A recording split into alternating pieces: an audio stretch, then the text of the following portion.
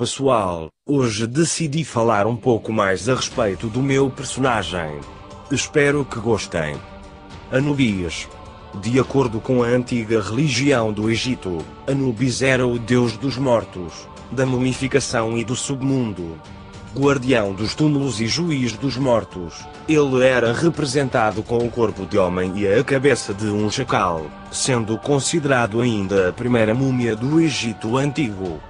A origem de seu nome parece ser uma derivação de Inep, que significa purificar, ou apodrecer. De fato, na língua egípcia antiga, seu nome era Ampu ou Impu, e Anubis nada mais é que a versão do nome convertida para a língua grega. A ideia de mostrá-lo com a cabeça de um chacal pode ter nascido da observação do comportamento dos animais selvagens, rondando os cemitérios, retirando e desmembrando os corpos das sepulturas construídas com pouca profundidade.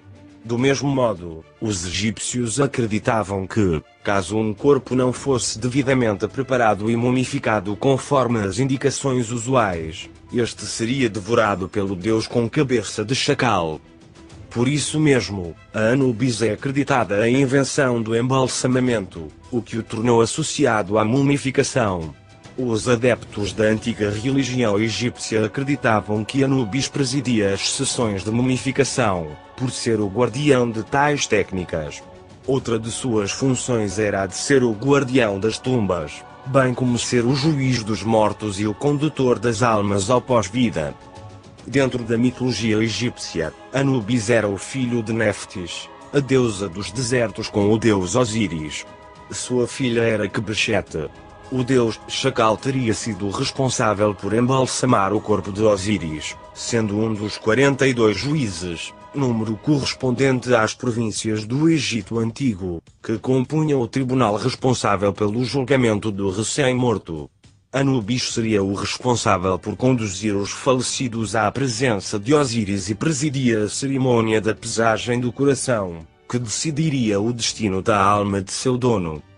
São raras as ocasiões em que aparece representado sob a forma totalmente humana, tal como se vê, por exemplo, na capela do templo de Ramsés II em Abidos.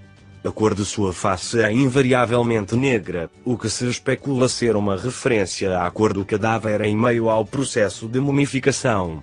Seu culto está patente nas necrópolis, nas quais estão registrados preces e hinos que evocam sua proteção, além das paredes das mastabas mais antigas.